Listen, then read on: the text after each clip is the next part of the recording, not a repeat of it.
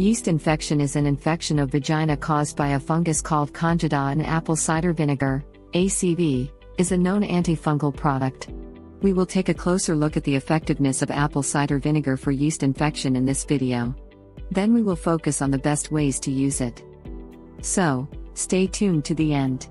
Candida normally lives in the mucus lining in the intestine without causing problems. Candida overgrowth generally causes infection in the mucous membranes of the mouth or vagina. It is called thrush when the mouth is infected and yeast infection when vagina gets infected. Women with diabetes are likely to get yeast infections more often. Apple cider vinegar has gained popularity to treat yeast infection at home. A 2018 lab study published in the journal Scientific Reports found that undiluted, or mildly diluted, ACV can prevent the growth of Candida.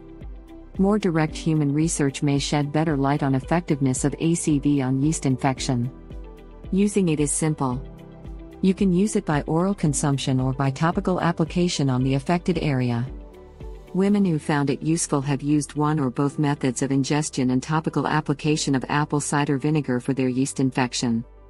Oral consumption of ACV can prevent candida overgrowth to protect you from yeast infection.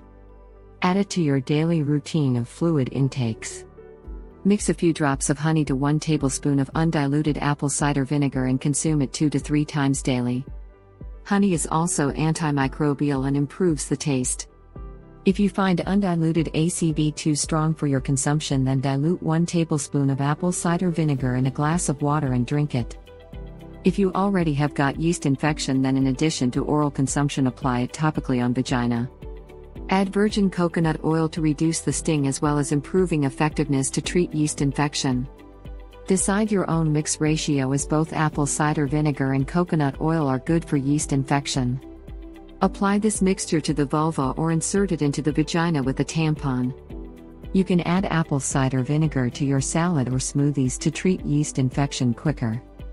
If you see no improvements in your symptoms, then consult a doctor. If you see improvements, then continue to use apple cider vinegar until your yeast infection is completely gone. If you enjoyed the video, then give it a thumbs up and share with your friends. Subscribe to the channel to watch more videos.